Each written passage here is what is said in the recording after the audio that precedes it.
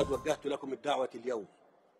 نناقش معا ونعمل على التوصل إلى توافق محدد على خارطة طريق تستهدف إنهاء المأساة الإنسانية الحالية وإحياء مسار السلام من خلال عدة محاور.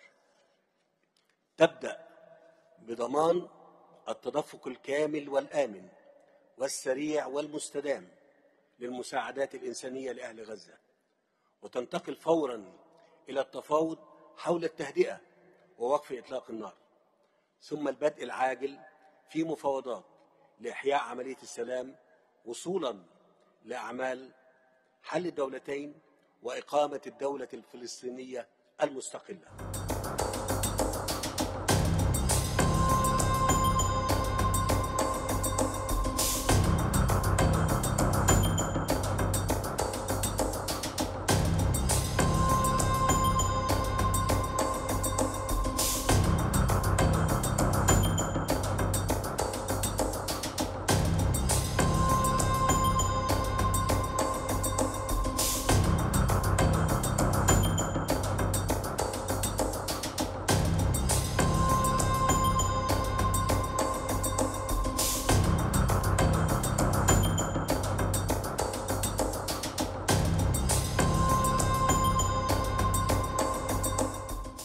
إننا نحذر من محاولات تهجير شعبنا في غزة إلى خارجها كما نحذر من أي عمليات طرد للفلسطينيين من بيوتهم أو تهجيرهم من القدس أو الضفة الغربية. لن نقبل بالتهجير وسنبقى صامدين على أرضنا مهما كانت التحديات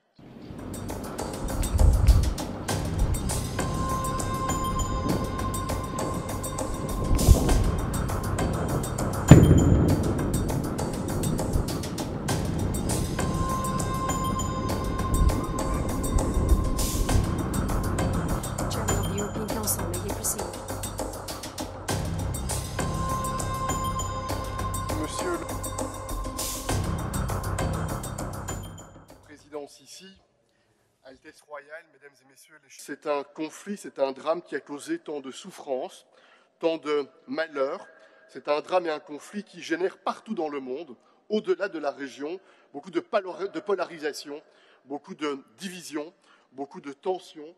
Et notre responsabilité, c'est d'être à la hauteur de notre devoir et de faire en sorte que l'on puisse progresser réellement et sérieusement vers le chemin de la paix, de la stabilité et de la sécurité. Vous pouvez compter sur l'Union européenne pour apporter cette pierre à ces valeurs que nous chérissons et qui sont des valeurs que nous souhaitons voir partagées partout dans le monde.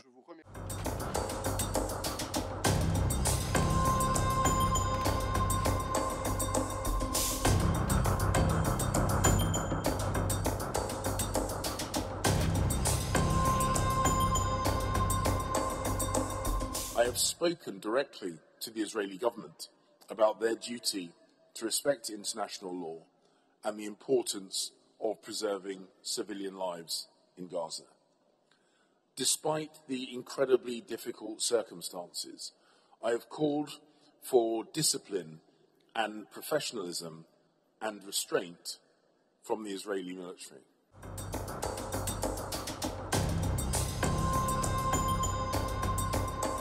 E su tutto noi dobbiamo fare l'impossibile per evitare un'escalation di questa crisi, per evitare di perdere il controllo di quello che può accadere, perché le conseguenze sarebbero inimmaginabili.